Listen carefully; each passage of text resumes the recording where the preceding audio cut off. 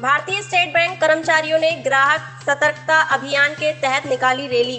उत्तर प्रदेश के रामपुर में भारतीय स्टेट बैंक के कर्मचारी व पदाधिकारियों ने एकजुट होकर सतर्कता अभियान के तहत ग्राहकों को जागरूक करने के उद्देश्य से रैली निकाली।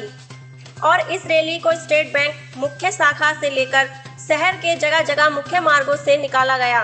क्षेत्रीय शाखा प्रबंधक मनोज कुमार अग्रवाल ने बताया कि इस रैली का आयोजन ग्राहकों को जागरूक करने और सतर्क करना है, जिसकी वजह से ग्राहकों को अलग अलग तरह से धोखा दिया जा रहा है। जिसके चलते इस रैली के माध्यम से ग्राहकों को जागरूक जागरूक किया जा रहा है। इस रैली में रामपुर और संभल समेत 40 शाखाओं के कर्मचारी मौजूद रहे।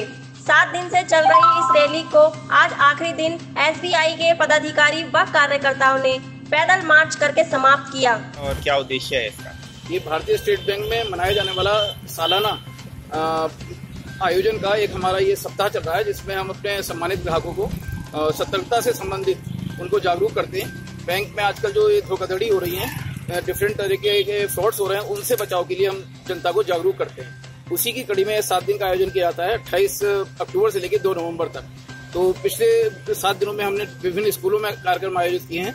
आज उसकी आखिरी कड़ी में इसका रैली का आयोजन किया गया है जो कि पूरे शहर में रामपुर में भ्रमण करेगी और हमारी चालीस शाखाओं के प्रतिनिधि ने यहाँ पर हिस्सा लिया है।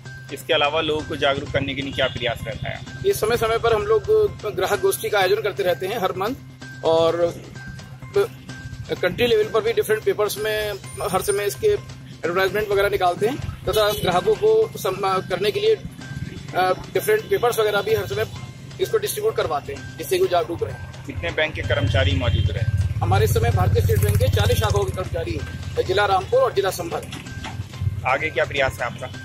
प्रयास यही है कि हमारे सम्मानित ग्राहक अपने पैसों का तो सही उपयोग कर सके और उनका सुरक्षित रहे पैसा। बैंक में जिस तरह के आजकल धोखाधड़ी हो रहे हैं उससे बचाव का ही हमारा मुख्य उद्देश्य और अच्छी ग्राहक सेवा प्रदान करें।